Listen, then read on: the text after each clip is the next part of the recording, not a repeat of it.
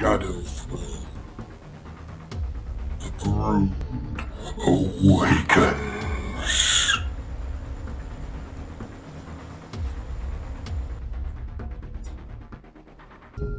Stalking through the lightless tunnels of the cult's domain, Carvillion's warriors saw the battle scarring and bodies from the gangers' ill-advised subterranean war.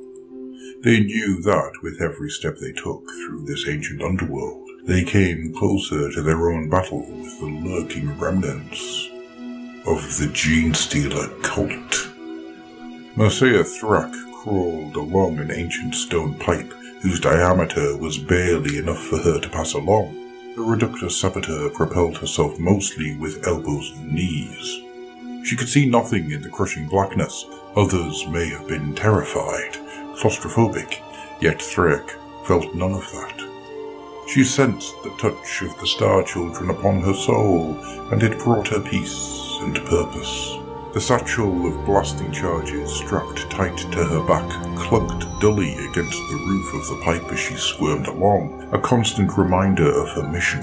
Thrak was past ready to use her bombs in anger against these intruders. It was the talent the Star Children had bestowed upon her, and she wished to slay the unbelievers in their name. At last the pipe ended, and Mercia slithered from its shattered end into a much larger space. She listened for a long moment then, having determined that she was alone, woke the lumen pack on her shoulder. It revealed a cavernous chamber, its floor slanted and broken, its doomed ceiling held aloft by four adamantine reinforced pillars. Thrak herself had emerged into a bone-dry depression that she realized must have once been an ornamental fountain. She was stood behind the remains of a huge statue, just a pair of sandal-clad feet leading up to shattered marble shins. Discarding her momentary stab of curiosity, Thrak vaulted over the lip of the fountain and hastened across to the nearest of four pillars. This place would do nicely, she thought, as she set to work. No doubt the Star Children had known. Why else would they have guided her here? Thrak was still at her task some minutes later when she caught the distant thump of gunfire growing slowly closer. Less than a half mile distant through the ancient tunnels, the talons of the Emperor were unsheathed in fury. They had been deep into the labyrinth when waves of neophyte cultists burst from concealment to attack. Autoguns chattering, the Xenocultists flung themselves at the invaders with no thought for their own lives. The contest was a horribly uneven one. Neophytes were punched from their feet and blown bodily apart by bolt rounds. They were flung against the walls, their innards pulverized by concussion grenades, or their flesh ablaze with promethium flames. Those few that got close to Carvillion's warriors were met by thrumming powered blades, expertly welded by superhuman warriors. They fell back, limbs and heads shorn off, fragile bodies bisected, and their insides splattered bloody up the tunnel walls.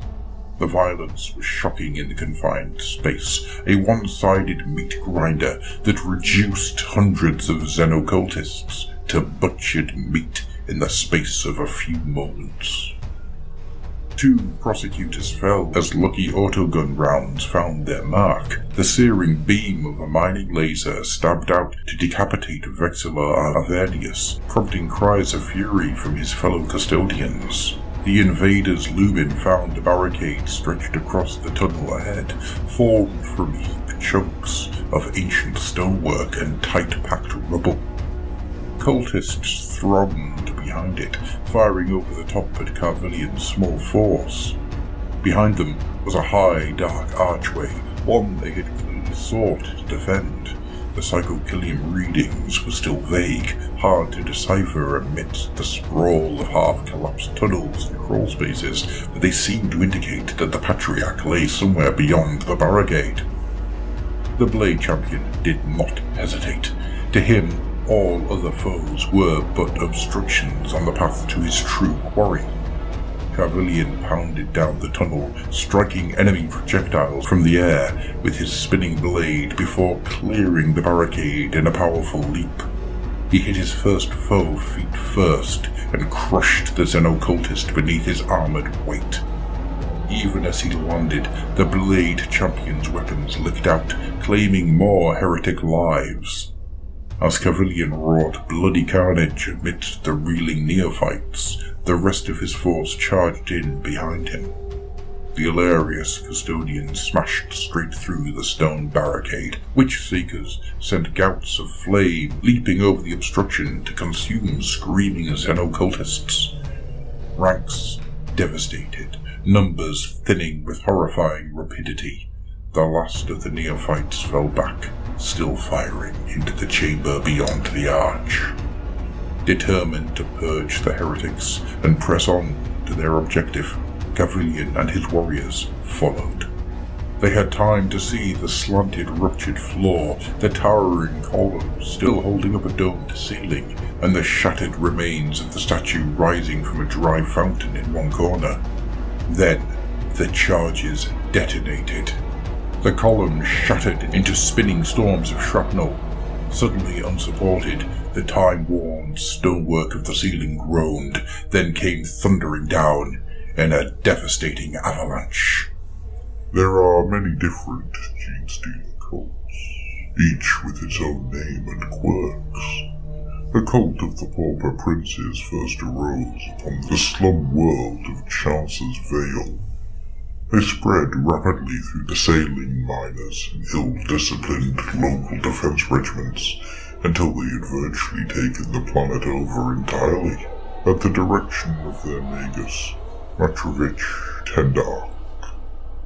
They snuck cells upon the void ship Just Strength and carried their message to the stars.